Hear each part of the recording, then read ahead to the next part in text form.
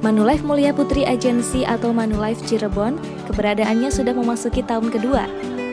Untuk memperingati ulang tahun yang kedua, 28 April 2020, Manulife Cirebon mengadakan bakti sosial berupa pembagian paket sembako kepada para pekerja informal, baik yang ada di kota dan kabupaten Cirebon.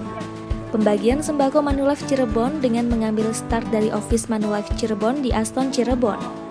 Kemudian telah disiapkan tiga tim yang membagikannya di tiga titik, yakni daerah Kedaung Kabupaten Cirebon, daerah Tuparev, hingga Siliwangi Kota Cirebon, serta daerah Pemuda hingga Cipto Kota Cirebon.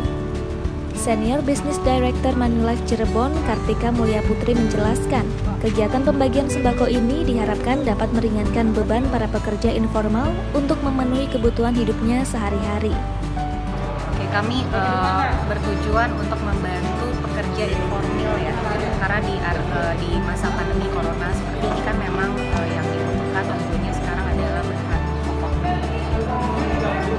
Sementara itu, di usia yang keduanya, Manulife Cirebon berharap keluarga di Indonesia, khususnya di wilayah 3 Cirebon, semakin banyak yang terproteksi karena memiliki asuransi itu sangat penting.